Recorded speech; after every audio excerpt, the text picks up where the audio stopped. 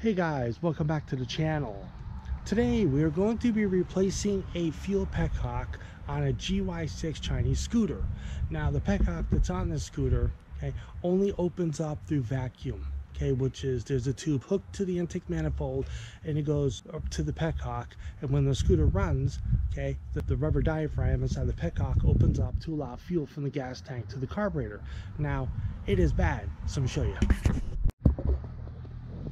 all right so right here is the petcock this line this this uh, clear plastic tubing here fuel line goes from here to the bottom of the gas tank.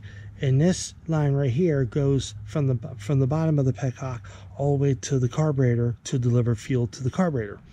And right over here you can see that right here sorry right here is a vacuum line okay? And it runs all the way down and it and it hooks to the intake manifold right here. Now there has been fuel a little bit of fuel into this vacuum line here and there's actually not supposed to be any fuel in this vacuum line. Now I'm to disconnect this fuel line here. All right now if anybody has the same if anybody has the same setup as I have here clear plastic tubing all right?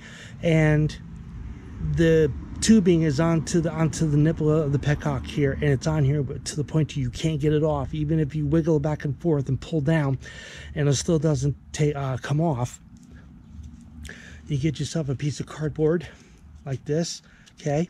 You basically fold it in half almost almost like a book and then you take a pair of locking pliers okay? Then what you do you put the piece of cardboard like this and then you basically you crimp it nice and easy okay? Then you wiggle it off pull it down wiggle like that and then it comes off. And if you have and now it would now it'll it won't damage sorry it won't damage the tubing when you do that. You just have to squeeze it a little bit to reform it.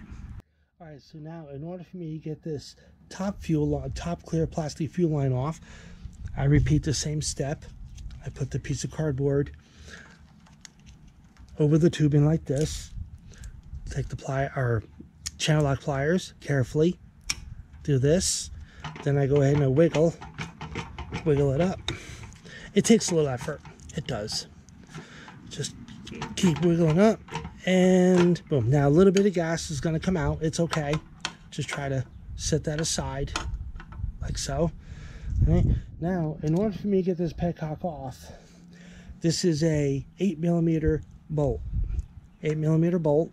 Okay, got myself extension ratchet and take it off. This. Okay, now I gotta take the vacuum tubing off in the back. Okay, same thing, you just pull down comes off like that. Then I then I could just take my fingers and unscrew the rest of the bolt the rest of the way. And take that off. Now here's the old one.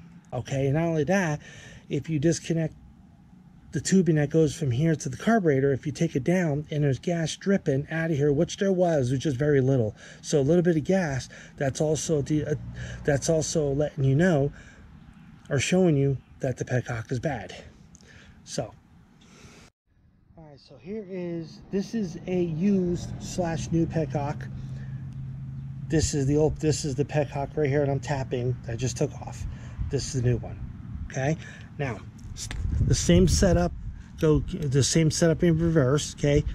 This is an eight millimeter bolt, goes through, tighten up this way,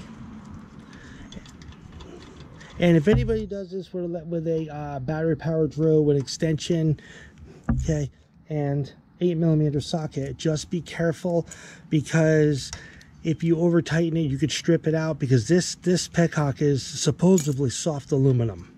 It could actually damage it. So I just screw it in all the way until, until I can't screw no more like that. Tongue, lift it up just a little bit. And I go ahead and I tighten it up.